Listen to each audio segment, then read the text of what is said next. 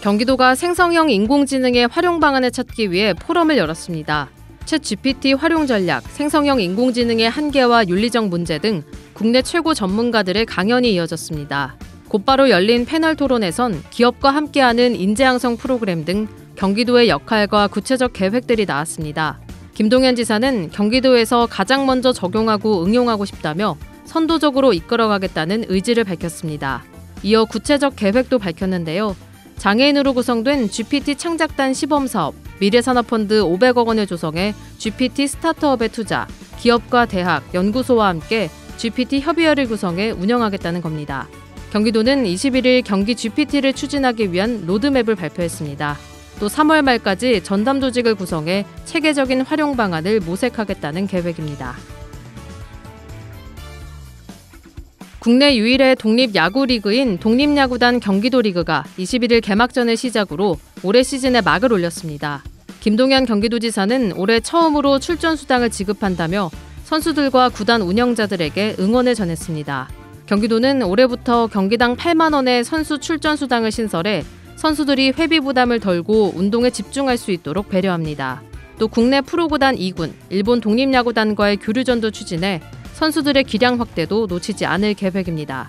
독립야구단 경기도 리그는 주로 프로리그에 진출하지 못하거나 방출된 선수에게 재도전의 기회를 제공합니다.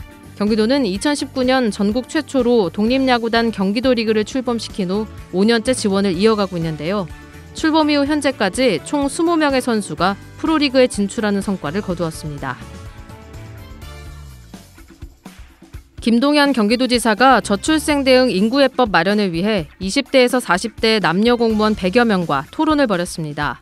기존 인구정책 토론이 전문가를 초청해 이뤄졌다면 이번 토론에는 임신과 출산, 육아를 경험했거나 앞둔 실제 20대에서 40대의 목소리를 듣는다는 점이 달랐는데요.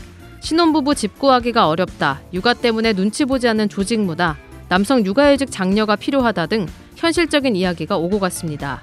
김동현 지사는 당사자들의 이야기를 듣고자 자리를 마련했다며 토론회를 연 의미를 밝혔습니다. 본격 토론에선 결혼, 임신, 출산, 난임 등 현장에서 느끼는 저출생 대책의 문제점과 개선안에 대해 의견을 주고받았습니다. 경기도는 이날 토론에서 나온 의견을 모아 경기도 저출생 대응 인구 전략에 반영할 방침입니다. 경기도는 제3기 경기도 청렴사회 민관협의회 1차 협의회를 열고 신규 위원을 위촉했습니다. 김동연 경기도지사는 청렴은 공직자가 갖춰야 할 기본적인 의무이자 자존심이라며 공직자들의 청렴을 강조했습니다. 이날 1차 협의회에선 경기도 청렴도 향상 계획 보고와 올해 추진 과제를 의결했는데요. 청렴도 향상 계획에는 청렴으로 변화와 기회를 열어갑니다라는 비전과 국민권익위 종합 청렴도 평가 1등급을 목표로 하는 4대 전략과 15개 추진 과제가 담겼습니다.